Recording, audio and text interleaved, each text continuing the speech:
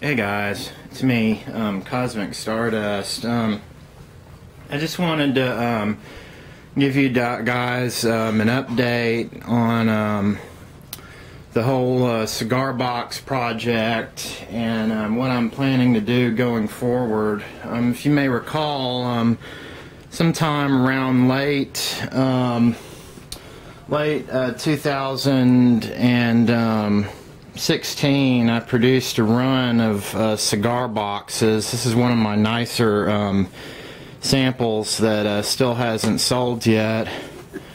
You know, for uh, people that were undissatisfied with the um, quality of the um, back in the day uh, joysticks and wanted something a little nicer than what they had, and so I got the idea to um, to use uh, real arcade parts and um, install them inside of the uh, cigar boxes. And some of these cigar boxes are really well made, and I, I found a local shop that could supply uh, used cigar boxes for um, relatively cheap, and um, it was just a really uh, quick uh, project, and I thought, hey, I like these. Maybe some other people might like them, and um, so I built a run of them, and I've sold a few of them, and some of them have just uh, been sitting in the boxes for um, six or seven months.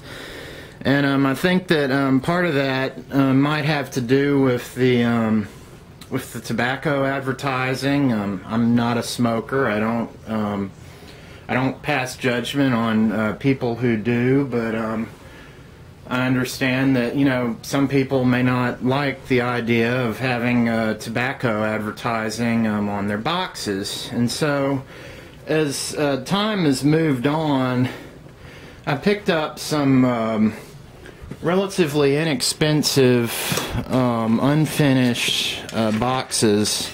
Here's one example uh, from Hobby Lobby. This box right here is only um, eight dollars and um, they're pretty nice. Um, and with the idea that um, I could, you know, use those as uh, future enclosures. And so um, I had posted a previous video from one of my um, where I showed off one of my prototypes, which was a um, Starplex controller in a cigar box, and SRAM's uh, 2008 of Atari Age was really uh, amazed at my um, controller, and he wanted to me to create. He wanted to ask me if it was for sale or if I could build him my own uh, Starplex controller, and so um, we decided to use one of these. Um, unfinished uh, woodcraft boxes, which I would then stain and finish. And um, this is the result. And I think it came out absolutely gorgeous uh, with the finish. It's silky smooth. And um, it still has the uh, cable. It comes with the cable that you just plug into the back of it. And um, uh, because the uh, bottom of the box was uh, recessed and the bumpers uh, weren't tall enough, um, one thing I did was I bought some. Uh, I bought some. Hey, Holly. There's uh, my cat photo bombing my video. Um, I took these felt pads and um, just basically stacked, uh, piggybacked uh, two on top of each other to use for the uh, feet so that the wood doesn't uh, scrape against the surface. But anyway, um, this is just like above and beyond um, anything I've made uh, previously, and I'm really kind of jealous now that I don't get to keep it, but it was a commission and it's going to ship off this afternoon right after I finish making this video. And um, I still have a lot of um, joysticks uh, left over from uh, the previous runs. I thought I was going to make more and I never did.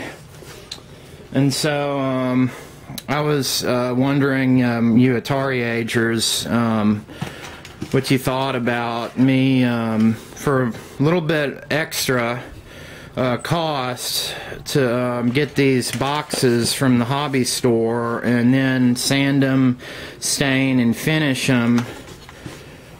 And really create, you know, to sell a professionally made joystick, and I would have to charge a little bit more because of the um, because of the labor involved with the stain. But these came out so nice, and um, I really, I, I think, you know, to me as a gamer.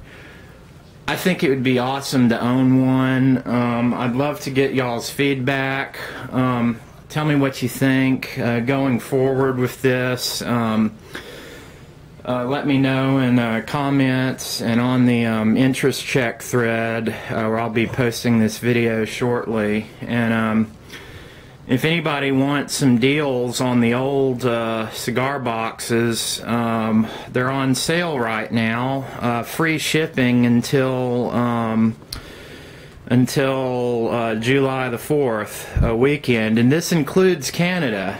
And so, um, if you, uh, some of you Canadian people, friends uh, to the north, want a good deal, um, I'll hook you up. Hey, Holly. It's my little sweet butterball. But um, anyway, I'm going to sign off. Um, I want you guys to um, to um, tell me what you think, and um, like I said, going forward, this is more of a. Just wanted to come here, kitty. Get off of that, Holly. You're a mess. You know that. All right, guys. That about wraps it up. Later.